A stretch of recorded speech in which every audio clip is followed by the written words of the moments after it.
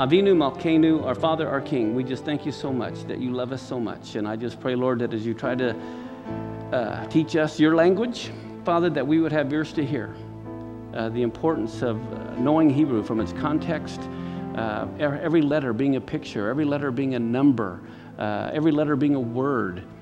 Father, that you would implant in us a desire to even go deeper. We just thank you. And also, Father, we just pray for the people in Japan. Father, it's just horrible what's happened over there. We have a lot of people in Japan who come to our website. And Father, we just uh, want to speak to them and let them know that there are people here that do care. We are concerned, and we just ask for your spirit to give them the peace and uh, all the help that they need. And we lift up the people in Itamar. Father, we ask that you would bless them and give them your peace. In Yeshua's name, amen. God likes to party. And He's given us all these feasts uh, so we can kind of understand this. And so, what we're going to start with is the Feast of Trumpets. Uh, the last time we were going over the spring feast, so now we're going to go over the fall feast.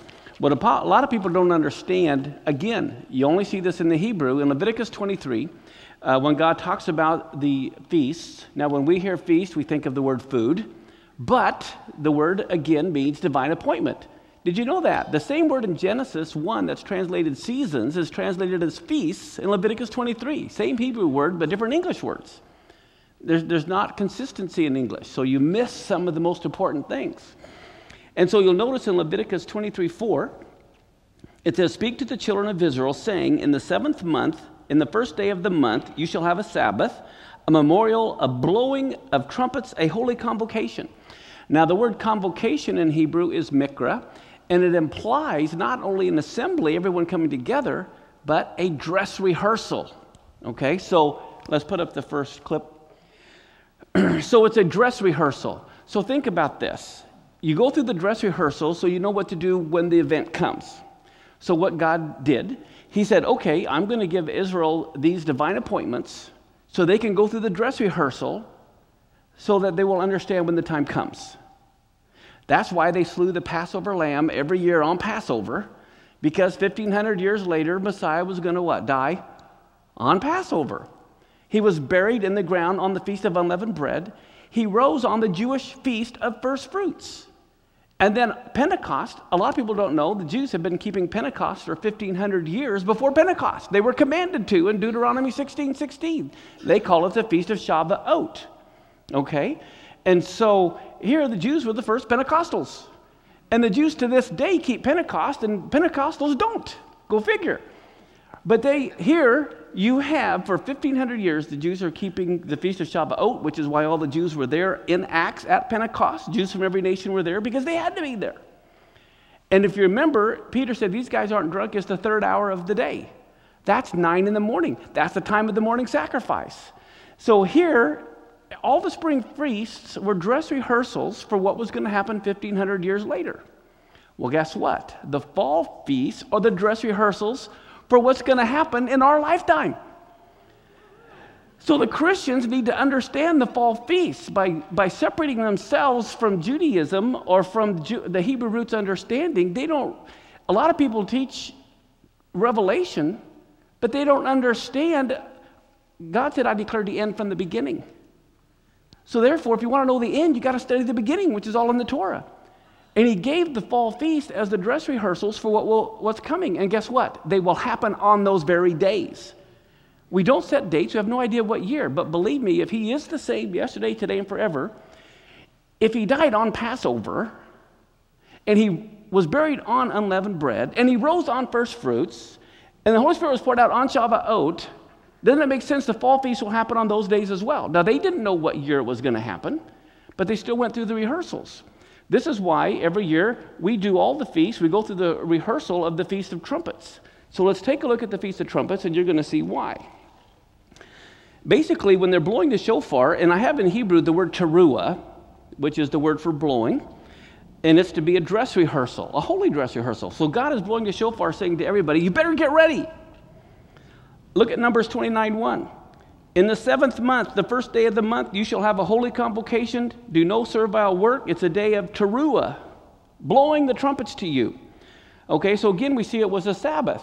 But so you can have Sabbaths on a Monday, a Tuesday, a Wednesday, a Thursday, or Friday as their calendar rotates. Now look at Numbers 10:5. It says, "When you blow an alarm." You know, again, this is the word teruah. Then the camps that lie on the east parts are going to go forward. So the word teruah speaks of an alarm. Think of an alarm clock. What does an alarm clock do? It wakes you up.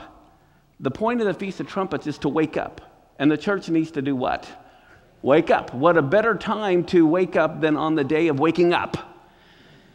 Okay, now look at Numbers 23 21. This is fascinating. Here it says concerning uh, God, He says, He has not beheld iniquity in Jacob, neither has He seen perverseness in Israel. The Lord his God is with him, and the shout of a king is among them. Do you know the Hebrew word for shout here is teruah? So again, the same word that is translated shout is also translated alarm, is also translated as blowing. Well, look at Psalm 47 5. God is gone up with a shout, the Lord with the sound of the shofar. So here we, again, we have the word teruah and the word shofar. And you have the blowing of the shofar, okay? This, God has gone up with a shout. Well, now let's look at Zephaniah 1 14 and 16. Here it says, The great day of the Lord is near. It is near. It hasteth greatly, even the voice of the day of the Lord. Now, when he's talking about the great day of the Lord, the day of the Lord, what is he talking about? He's talking about the tribulation. Okay? Now, this is important to understand this. He says, The mighty man will cry bitterly that day is a day of wrath. It's a day of trouble and distress, a day of wasteness and desolation, a day of darkness and gloominess, a day of clouds and thick darkness. It's a day of the trumpet and alarm against the fenced cities and against the high towers. You know, the word for day is yom. And here, the word for trumpet is shofar. And the word for alarm is teruah. So here he's telling you the tribulation will be taking place and begin on Yom Teruah, which is what Rosh Hashanah is known as, the Feast of Trumpets. So this year is telling you this, this day of the Lord, this tribulation, will begin some year on the Feast of Trumpets. So if you don't know when the Feast of Trumpets is, how are you going to know if it even begins? So this is why we need to understand this. Now, here's an often misunderstanding. Let's look at this next clip with the sky. Okay, this is like the, to imply like this day of darkness and gloominess is coming. Well, I want to bring out two things. First off, it says in Revelation 1:10, "I was in the Spirit on the Lord's day." Everyone misinterprets that. That does not refer to Sunday. It doesn't even refer to Saturday. It refers to the day of the Lord. He says, "I was in on the Spirit on the Lord's day." Would have been better translated, I was in the Spirit on the day of the Lord. In other words, the whole revelation is about the tribulation and all this, and that's what he's talking about. He's not talking about Saturday or Sunday. The Lord's day is another way of saying the day of the Lord. That's what he's referring to here. And what does he hear? A great voice as of a what? Okay, remember on Mount Sinai, there's the sound of the shofar and the voices. So here we see it's the voices of a trumpet. Can you imagine? Here's this trumpet and this voice of God just speaking, coming out, announcing. Don't you want to know the sound of that? Wouldn't you want to know the sound of that voice and the sound of the shofar like they heard in Exodus? Well, look at this. In Revelation 3:20, he says, "Behold, I stand at the door and knock, and if any man hear my what? Voice and open the door, I'll come to him and sup with him and he with me." A lot of people misinterpret that verse.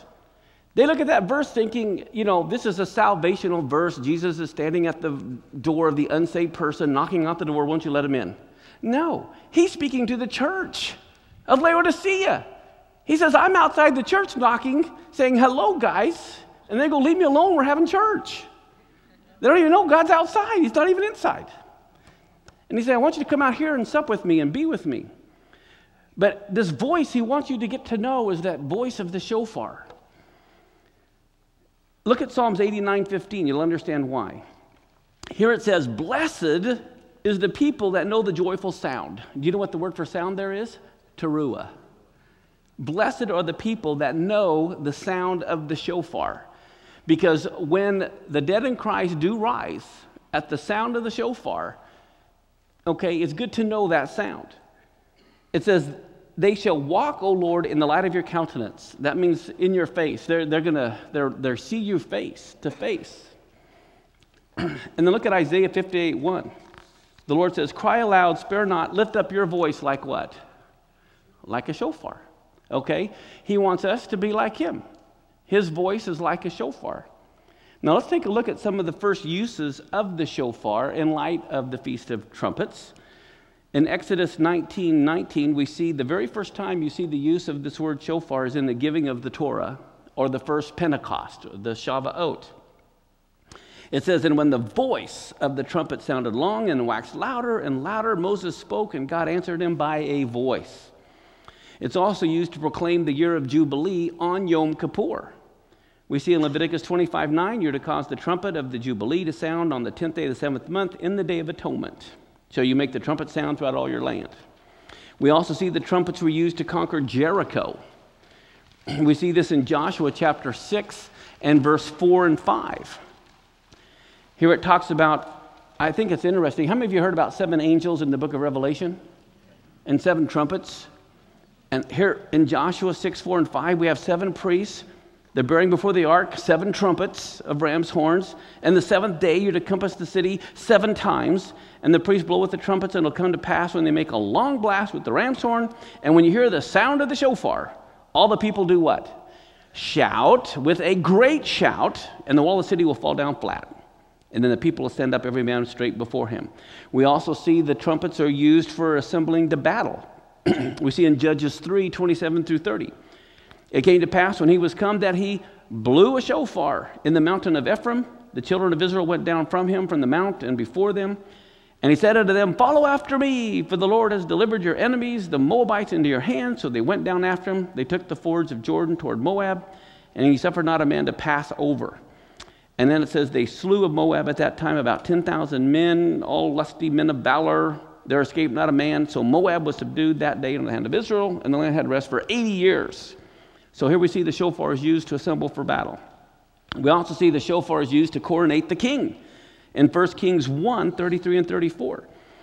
It says, The king also said to them, Take with you the servants of your Lord, cause Solomon my son to ride upon my own mule, and bring him down to Gihon.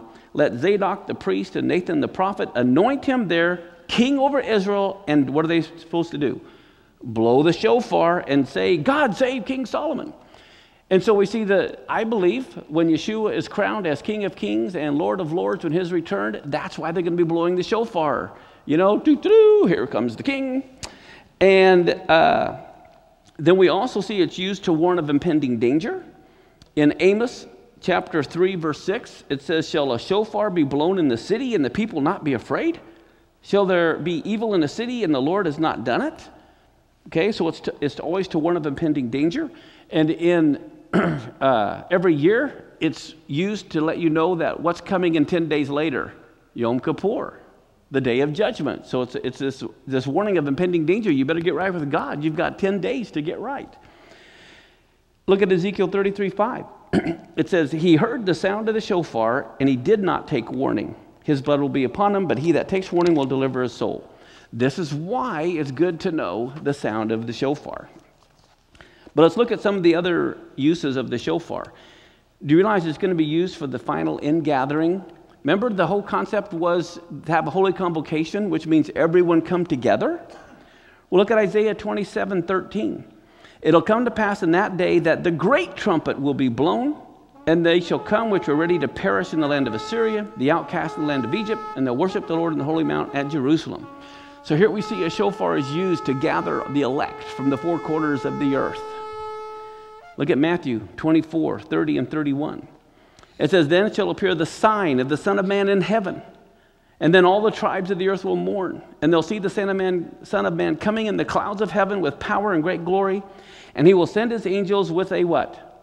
Great sound of a trumpet, and they'll gather together his elect from the four winds from one end of heaven to the other. So the use of the shofar is to gather the elect. And then look at Zechariah 9:14. It's also going to be used at the very final battle. it says, And the Lord will be seen over them, and his arrow, sh- arrow shall go forth as the lightning, and the Lord God is going to do what? He's going to blow the shofar. So here we see the Lord God is going to blow the shofar, and it'll go with the whirlwinds of the south. We also see the shofars are used at the resurrection of the dead. Remember the word shout means teruah? And the day for the Feast of Trumpets is known as Yom Teruah, the day of shouting, the day of blowing the shofars. And look what it says The Lord himself shall descend from heaven with a teruah, with a shout, with the voice of the archangel, and with the shofar of God, and the dead in Christ will rise first. So I'm telling you, now, I, I don't get into the rapture when the rapture is going to take place. If it's in the beginning, if it's in the middle, if it's at the end. I don't care, really. I really don't. I, I believe we're about to enter the Super Bowl of human history, and don't take me out of the game, coach. Leave me here. Put me in. Okay, that's my attitude. But I do believe that the resurrection of the dead will take place on the Feast of Trumpets some year. That's why it's really good to know when the Feast of Trumpets is every year okay, and to go through the dress rehearsals, all right, because I, I really believe that. I think the Bible is plain when you understand the Hebrew text. That the, and even the Jews believe that. To this day, they've always believed that, that the resur- resurrection of the dead takes place on trumpets. You see it in Daniel 11 or Daniel 12. But anyway, I have DVDs on all the feasts uh, available if you want to get more detailed information on this stuff. But think about this for a minute. Yom Teruah speaks of the coming of the Messiah. It speaks of his coronation as King of Kings and Lord of Lords over the whole world. It speaks of his coming to the defense of his brethren, the Jewish people. It speaks of his regathering of Israel's exiles for the year of Jubilee and the resurrection of the dead. Now, what a better way to annually celebrate this day than to gather together as a rehearsal, to worship Yeshua, to discuss his coming, hear a teaching on the blast of the shofar, and then to hear the shofar blown 100 times. That's what the, every year on the Feast of Trumpets they blow the shofar 100 times. And do you know what the 100th blast is known as? The last trump.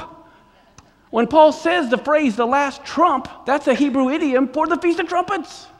He's telling you again it's going to take place on the Feast of Trumpets. The last trump is the 100th blast.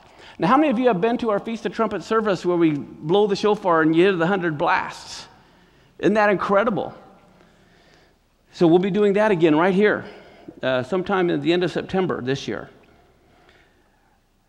Now, does that sound like, well, that's nothing to get too excited about? That's legalism doing this. Worshiping Yeshua, talking about his second coming. Can you imagine what it's going to be like? I mean, think about this. I want you guys to really grasp for this.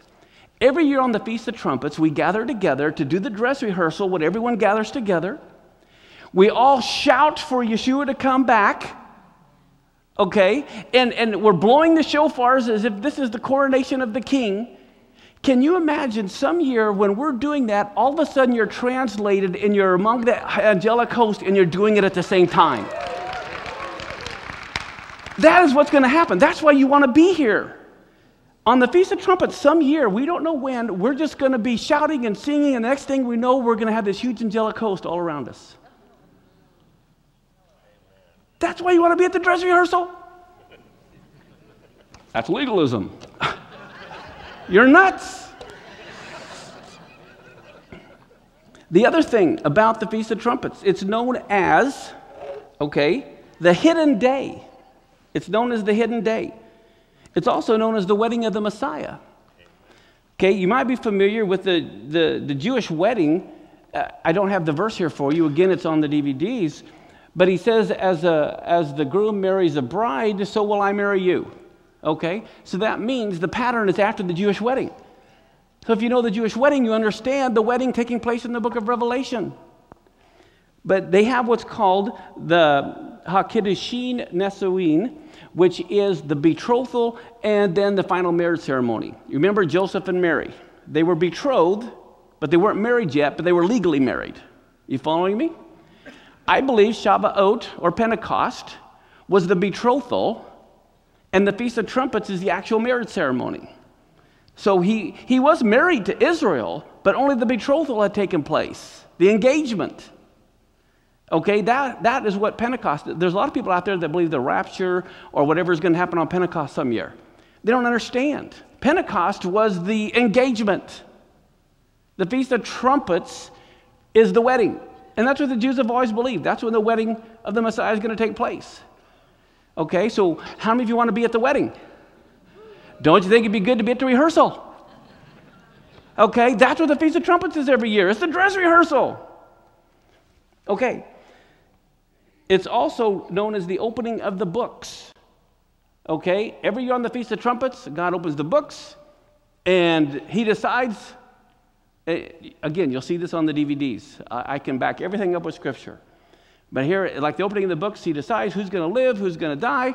Ten days later, Yom Kippur is known as the closing of the books, and now judgment is meted out the following year. Okay? And when you read, I don't know if I have this in here, but I'll just quote it to you. I think it's in here. Oh, yeah, it's coming up.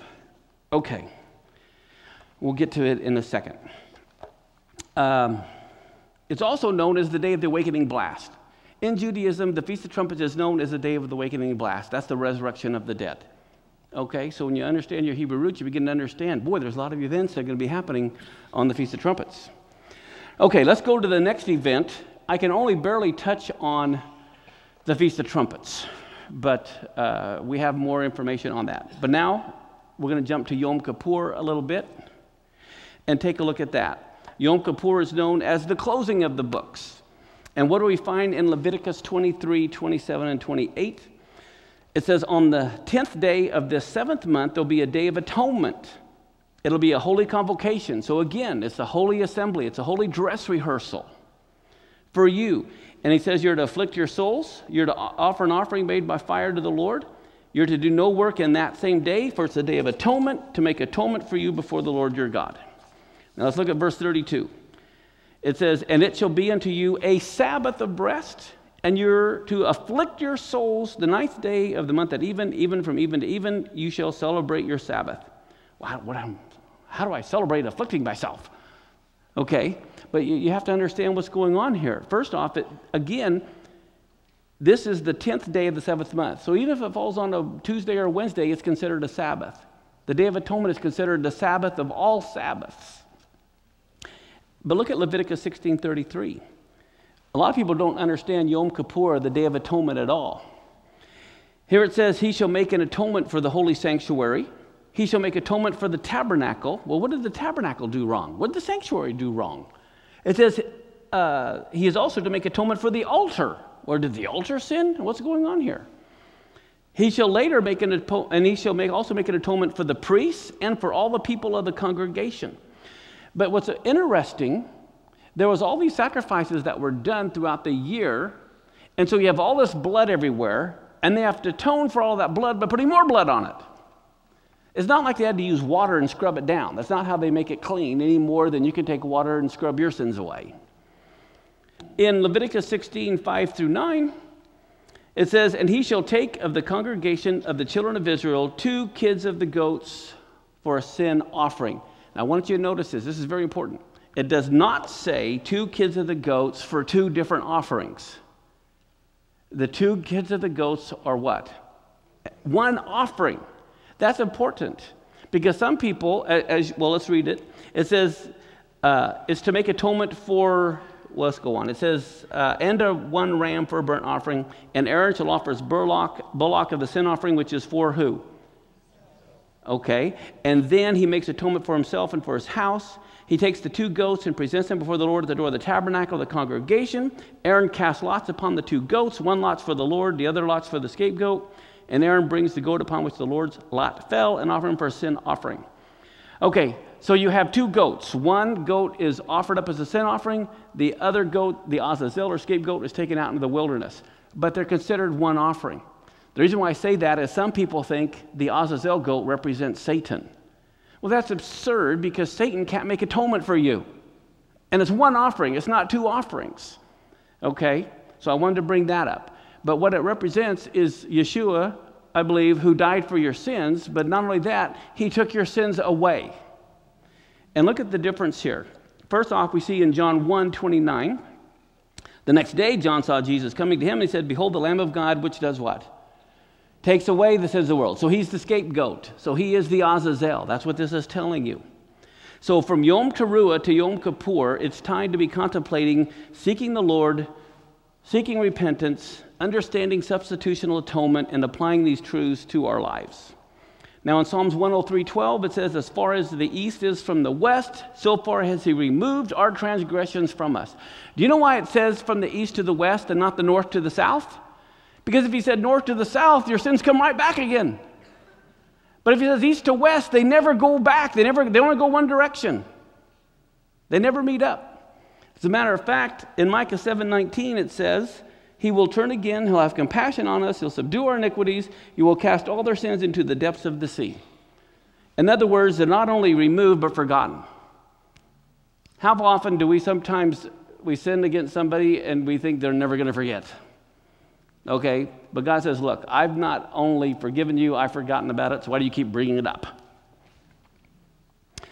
Um, Let's look at Acts 27 9. Yom Kippur was known as the fast. That's the one fast day that, of all fast days, that's when they fast. And when you understand that and you read Acts 27 9, where it says, Now when much time was spent, when sailing was now dangerous, because the fast was now already past, Paul admonished them. Well, he's referring to Yom Kippur here. So you know the time of year. You know this is probably in October, in the fall. So you can, when you understand your Hebrew roots, you begin to date different things that are going on here. Now, do you remember what happened on the first Yom Kippur after the Exodus? The first Passover, what happens? They leave Egypt. The first Pentecost, Moses is up there and they sin with the golden calf. Okay, do you remember what happened on the first Day of Atonement? Okay, they sin with the golden calf. Moses goes back up for another 40 days seeking repentance, you know, see, you know, doing something. As a matter of fact, let's look at Exodus 32, 30 and 33. You'll see the first Yom Kippur. Remember, it's the opening of the books on the Feast of Trumpets, the closing of the book on Yom Kippur. And in Exodus 32, 30 through 33, it says, It came to pass on the morrow that Moses said to the people, You've sinned a great sin. And now I will go to the Lord peradventure, I shall make atonement for you, for your sin. So Moses returned to the Lord and said, Oh, this people have sinned a great sin. They made them gods of gold, yet now if you will forgive their sin, and you have this hyphen there, it's the only place in your whole Bible, and it, it's like a great pause where Moses is thinking, this sin is so great, there's no way you can forgive their sin. So what does he do? He says, if not, blot me, I pray thee, out of your book which you have written. So he wasn't talking about the book of life, eternal salvation. He was saying, let me die today. Let me die. It was a physical life that he was talking about. Blot me out of the book, kill me, he says. I'm going to make it to him. I want you to kill me so you don't have to kill. Because God was ready to kill Aaron, it says. He was ready to kill all the rest of them. And he said, I'm going to make of you a great nation. Forget it, we're going to start over. So when he's saying that, he's talking about don't kill all of them, kill me. Now that's incredible when you think about it. Here you got these bunch of rebellious people that make the golden calf.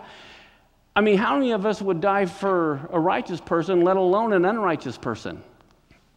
But this was Moses' attitude here. And so, what did he do? He comes down after 40 days and he's, he's been learning how to build the tabernacle from God. And he comes down on the Day of Atonement announcing, Atonement's been made. You're forgiven. So, the first Day of Atonement is Moses' descent from the mountain, letting them know they've all been forgiven, atonement's been made. And so, what do they do then? They spend the next five days gathering material to build the tabernacle, and five days later begins the Feast of Tabernacles. So, again, this is, and, and what are we preparing for? We're preparing for God to tabernacle among us for the thousand year reign. So, the spring feasts were his first coming, the fall feasts are his second coming. I believe some year on the Feast of Trumpets, the tribulation will begin. Some year after the tribulations began, on Yom Kippur, See, what's the difference between Passover and Yom Kippur? They both seem to have blood and atonement. What's, what, what's the difference? Here's the difference the fall feasts are for the nations. Okay, the, the Passover is just general, whosoever will. But now God is going to judge the nations. Yom Kippur, if you'll notice, the goat was for Aaron, it was for his Levites, it was for Israel. So, some year on Yom Kippur, Israel as a nation will have the blinders removed and they will see that Yeshua is their Messiah. But that will happen after the tribulations begun. And then what happens? You have the Feast of Tabernacles where Yeshua returns, the Messiah, and he tabernacles among men for the thousand year reign. And it will begin on the Feast of Tabernacles. Okay, you see that in Zechariah 14. So all these things are rehearsals. And you're going to see this. Look at this. uh, one thing that we find is this is the day that the nation of Israel was to be atoned for. And if you remember, on the Feast of Tabernacles, Israel kills 70 bulls, is what they did. Why? Because there were 70 nations. God said to Israel, I want you to be a priest. I want, to, I want the whole world to be saved. So I want you to be a priest. Just like Aaron had to do a sacrifice for himself, and then for his sons, and then for the nation. Why? Because five days later, they were to kill 70 bulls, one for each nation, to make atonement for the nations. And so, what does the devil do? He convinces the nations to go and destroy the temple, the very thing God was using to make atonement for him. Isn't he pretty smart? Okay? So here God said, Look, Israel, make atonement for yourself this day, and then five days later, as priests, sanctified, I want you to make atonement for all the nations. I want you to kill 70 bulls, one bull for each nation. But watch how you see the book of Leviticus, the Yom Kippur service, in the book of Revelation. How many of you heard of the word trumpet in Revelation? What do you think that pertains to? The Feast of Trumpets. Now you're going to see Yom Kippur in the book of Revelation. Let's, uh, first off, can you imagine uh, on Yom Kippur, the high priest would have to take off his royal garments and he have to put on a totally white linen cloth. That's all he could have on, or a white linen garment, which speaks of righteousness. But can you imagine having on a white linen garment and you're slaughtering sacrifices? You know, you get blood all over your white linen garment. That's why they only used them once. Every year they'd have new garments. But look at Leviticus 16, 3 through 5. Aaron comes into the holy place with a young bullock for a sin offering and a ram for a burnt offering. And then look at, look at all the white linen garments he puts on. He puts on the holy linen coat. And then the, the white linen breeches on his flesh. And then he's girded with a linen girdle. And he has a linen mitre on his head. And he, then he washes his flesh in water uh, so he can put them on. And then he takes of the congregation of the children of Israel these two kids of the goats for a sin offering and one ram for a burnt offering. So he's about to do all this slaughtering with these white linen garments on. Well, let's look at Isaiah 63, which talks about the coming of the Messiah, verse 1 through 4. Who is this that's coming from Edom with dyed garments from Bozrah? This that is glorious in his apparel, traveling in the greatness of his strength. I that speak in righteousness, mighty to save. Wherefore are you red in your apparel? Your garments like him that treads the wine fat. I've trodden the winepress alone, and of the people there was none with me. I will tread them in my anger and trample them in my fury, and their blood will be sprinkled on my garments. I will stain all my raiment, for the day of vengeance is in my heart. The year my redeemed is come. This is the year of Jubilee, Yom Kippur. Look at Revelation 19, verse 2 and 13 through 15. It talks about how he avenged the blood of his servants at her hand. He was clothed with a vesture dipped in blood. You go down, it says, The armies which were in heaven followed upon white horses, clothed in what? Fine linen, white and clean. Do you know every Yom Kippur, all the Jews wear white when they come to the service? Okay? This event that you're reading here in Revelation is a Yom Kippur event. Everyone's going to be dressed in white on Yom Kippur when they're coming back because it will happen on that day. And I don't have time to go into it, but in Leviticus, you can see how no man could enter the temple on the feast of Yom Kippur. And in Revelation, you see no one can enter the temple. I mean, there's all these parallels that I go into on those DVDs. But let's go now to Sukkot. So we got like six minutes to do Sukkot.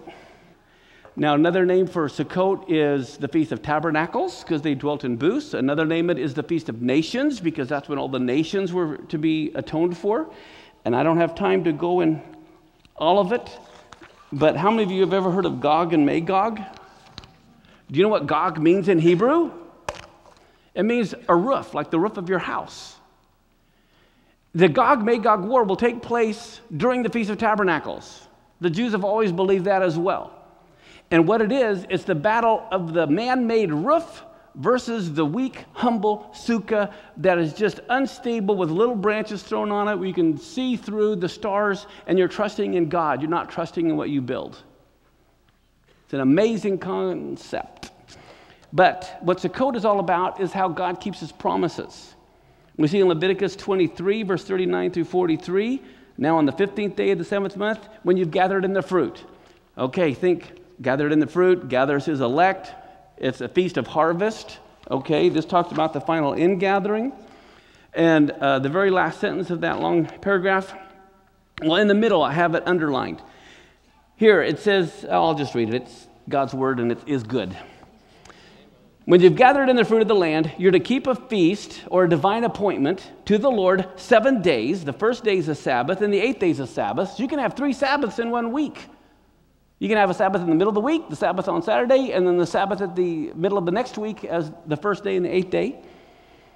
And it says, uh, You shall take for yourself on the first day the boughs of goodly trees, branches of palm trees, the boughs of thick trees, and willows of the brook, and you what? Shall rejoice. Now, the word shall. Now, I was in a courthouse one time, uh, not for anything I've done wrong, but um, the, I heard the judge telling this one kid that the ordinance says, You shall. Now, you shall means there's no if, ands, or buts, you shall. And here God is saying, You shall rejoice. In other words, for a whole week, I don't want any whiny whinies. You have to be happy for a whole week.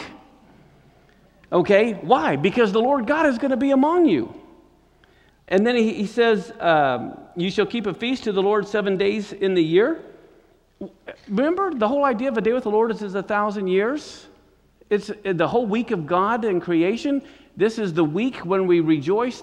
It's the whole concept of Him dwelling among us, back in the Garden of Eden. And it says, uh, It'll be a statute uh, for 2,000 years. Oh, no. It'll be a statute forever in your generations. You shall celebrate it in the seventh month. He says they're to dwell in booths for seven days. The whole concept of a booth is a temporary dwelling place. In other words, this body is not our home. Aren't you glad this body is at your home? It's just a temporary dwelling place?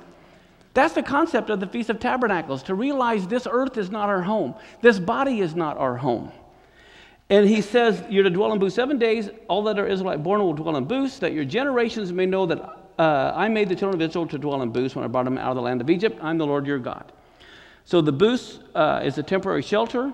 It's a reminder of God's protection versus Gog. It's known as the Feast of Ingathering and the time of rejoicing. So what do we see here? Passover begins the story of redemption, and Sukkot concludes the story with the fulfillment of God's promises to come in and to the promised land. So it's the beginning and the end of the story. Zechariah 14, 16 through 19. You're going to see why this takes place during the Feast of Tabernacles. Here it says, It'll come to pass, everyone that's left of all the nations, okay, after God's judgment on Yom Kippur, when all the, the Battle of Armageddon takes place, basically it's done, it's over. And then on the Feast of Tabernacles, look what it says. Those that are left of all the nations that came against Jerusalem shall go up from year to year to worship the King, the Lord of hosts, and they have to do what? Keep the Feast of Tabernacles. And it'll be that whoever doesn't come up of all the families of the earth to Jerusalem to worship the King, the Lord of hosts, even upon them shall be what? Guess what they do during the Feast of Tabernacles? They pray for rain because the land is crying out for thirst because the whole dry summer in Israel. Everything is crying out for rain. So uh, the land is crying out and everyone's crying out for rain. And God says, okay, you want rain? You better come to the Feast of Tabernacles and pray for it. And if the family of Egypt doesn't go up and they don't come, they're going to have no rain, but they also get the plague.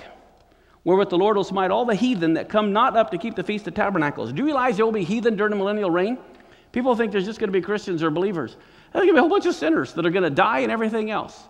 But here, the heathen that don't come up, it says not to keep the Feast of Tabernacles. This is the punishment of Egypt and the punishment of all nations that don't come up to keep the Feast of Tabernacles. Now, is God the same yesterday, yesterday, today, and forever?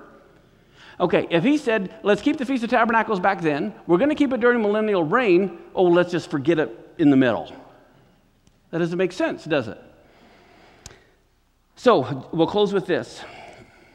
I got three minutes. Okay, John 7, 37, and 38. This is going to make so much more sense when you understand what was going on in the temple during the Feast of Tabernacles. Here it is, John 7.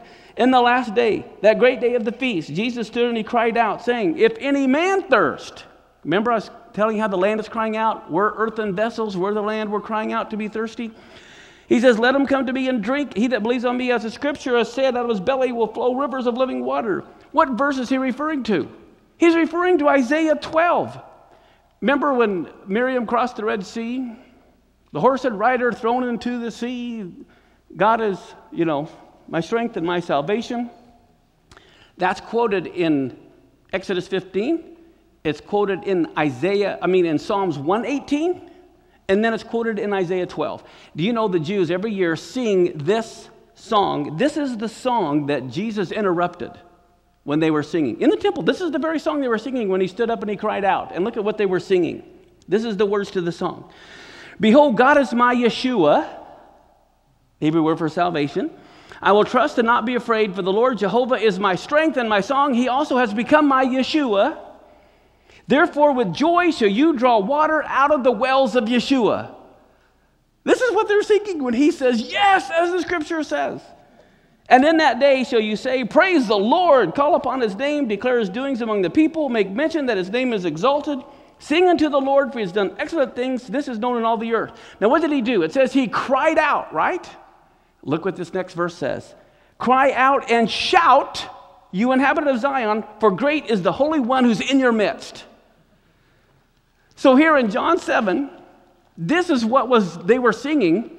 All of a sudden they're going, "Oh my goodness, this is the Lord. He's in our midst. He's crying out, he's shouting." But if you don't know that this is what they were singing when you read John 7, you don't make the connection. And there are so much more powerful things that were going on in the temple that's on the feast DVDs. So we'll end with that. But anyway, so this is just to give you a taste of the fall feast, what's to come. How many of you want to know what's coming? Then go to the rehearsals. Then you can practice. All right? So next week, remember, it's party time. And then the next week is going to be so incredible. We're going to have David Rubin here, and he was the victim of a terrorist attack as well as his son, Ruby, when he was only a couple of years old, he was shot through the back of the neck, his son was. And he was shot in the leg, David was, while he's trying to drive. Miraculously, the car started up again after it had stopped. You'll hear his testimony, and you'll hear uh, the latest about what's happening right here, right now. So let's, let's stand and we'll close with prayer. Father, we just thank you so much for you're always warning us. You're always trying to tell your kids, here's what's coming, rehearse it, rehearse it. So, Father, I just pray each one of us would begin to understand the importance of the feasts, the appointed times.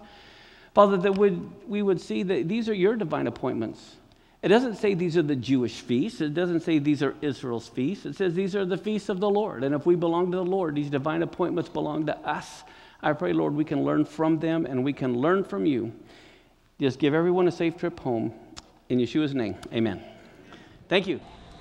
Thank you for studying with us today. If you have any questions regarding the material discussed, please contact me at my email address. It's pastormark at El Shaddai Ministries.us. Be blessed and shalom.